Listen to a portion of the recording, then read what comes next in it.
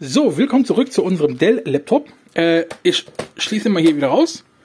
Und dann gucken wir uns mal nämlich mal softwareseitig das Ding an. Äh, so, boah, ja, halt.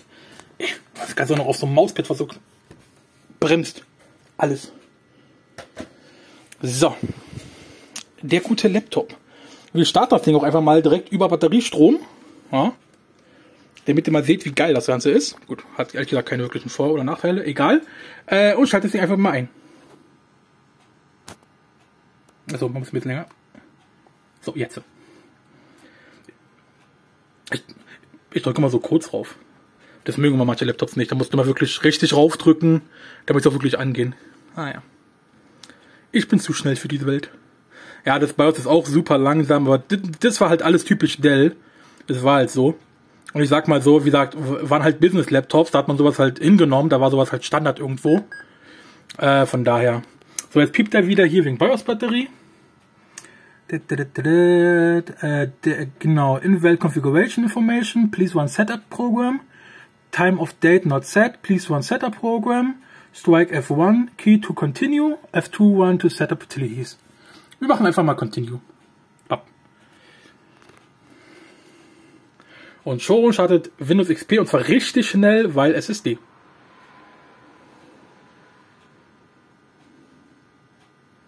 Wow. So, da bin ich mal Bootzeit. Ha? So, da haben wir hier schon, habe ich mittlerweile ein paar Programme drauf. Alter, warum flackert der so? Kann man hier irgendwie die Belichtung einstellen? Bei dem nicht wirklich, ne? Naja.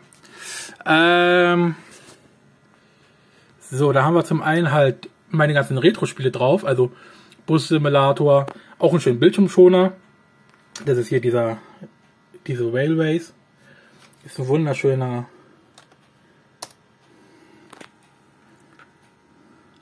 braucht ein bisschen, glaube ich.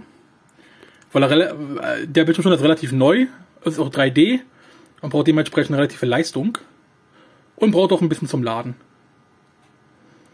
Ähm, ansonsten Hardware-Spec-mäßig ist der Laptop auch relativ stark ausgereizt. Der hat 1 GB Arbeitsspeicher, was halt so zu Windows XP-Zeiten wow war. Zum Vergleich, 4 GB war das, was Windows maximal konnte, also genau genommen 3,5 GB. Äh, aber mit 1 GB warst du schon der King damals. Vor allen Dingen, was halt Laptops anging, weil das ist halt das Maximale, was der Laptop unterstützt. Ähm, ja. Und eine richtig geile Sache bei dem Laptop ist, der hat eine FireGL Grafikkarte. Sprich also eine, die so ähnlichen Standard hat wie. Ja, ich habe hab meine Maus bewegt. Ich darf natürlich nicht die Maus bewegen, während ich ein Bildschirm schon starte. Verdammt. Ähm, ist also OpenGL kompatibel und äh, dementsprechend laufen auch relativ aktuelle Spiele, die OpenGL nutzen, auf dem Laptop. DirectX läuft sowieso. Aber halt vor allen Dingen halt auch OpenGL-Spiele laufen wunderbar auf dem Ding. Jetzt hoffe ich mal, dass der Bildschirm schon diesmal durchstartet. Nicht die Maus berühren. Nicht diese Maus berühren. So, und da sieht man schon. Voila. Ah, okay, ich merke gerade, ähm, jetzt wo er unter Batterie läuft, ist er runtergetaktet. Deswegen stockt er jetzt ein bisschen. Gut, dann schließe ich den mal doch ein bisschen ans Stromnetz an. Damit wir dann ein bisschen Power haben. Warte mal kurz. Äh, Stromsticker, Stromsticker. Wo hab ich dich denn? Äh,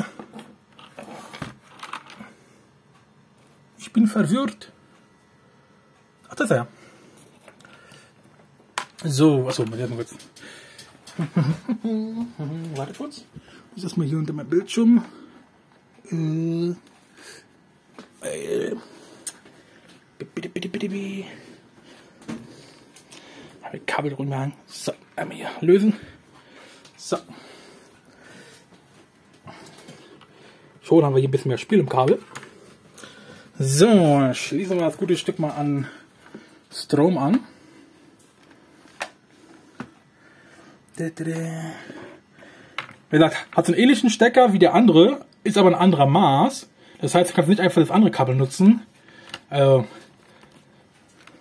ja, super kacke. So. Schon läuft das Spiel wesentlich flüssiger. Und der Bildschirm ist auch etwas heller geworden, sehe ich gerade. Weswegen das Flackern weg ist. Cool. Jetzt flackert er weniger. Da sieht man, hier läuft schon wesentlich flüssiger. Also, ist nahezu flüssig. Und ja, das halt für einen 3D-Bildschirm schon zur damaligen Zeit Sehr geil. Vor allem das Witzige ist, der Bildschirm schon das Original von Nvidia gewesen. Äh, läuft aber jetzt auf einer OpenGL-Grafikkarte. Oder wie gesagt, FireGL, aber FireGL ist kompatibel zu OpenGL mit den entsprechenden Treibern. Und ja.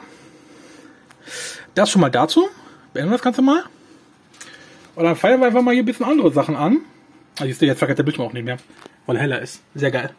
Ähm, wie gesagt, ansonsten habe ich hier halt so diverse Retro-Spiele drauf, die ich halt damals und auch heute noch sehr viel spiele. Aber halt vor allen Dingen halt Spiele aus der damaligen Zeit, also hier Bus Simulator, Euro Truck Simulator, German Truck Simulator nicht, weil der funktioniert hier drauf kurioserweise nicht. Äh, der stürzt immer ab. Ich weiß nicht warum. Aber sonst halt noch so diverse alte Programme hier, die ganze Clonezilla-Geschichte.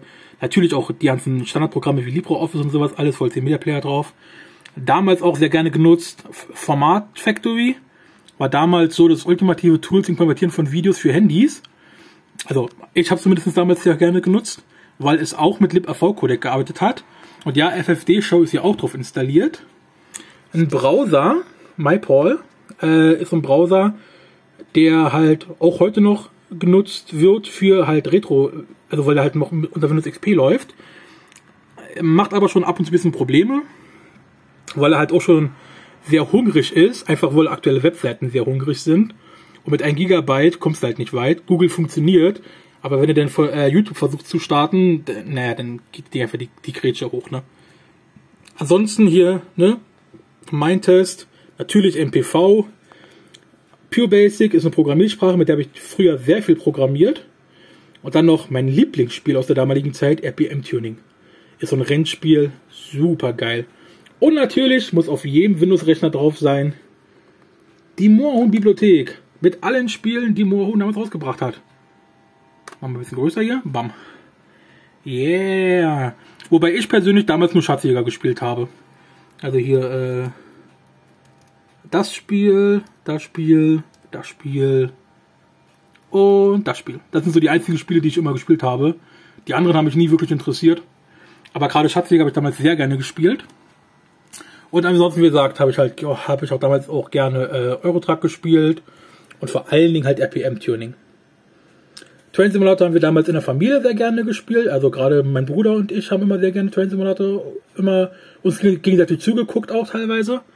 Ähm, Luca ist von meiner Schwester. Das habe ich damals, also sie hatte das damals gehabt. Und ich habe es mir dann damals auch installiert gehabt. Deswegen habe ich es jetzt auch wieder mit drauf. Weil ich letztens die Original-CD davon wieder gefunden habe. Witzig. Äh, ja, ansonsten läuft natürlich auch Z-Doom drauf. Witzigerweise läuft GL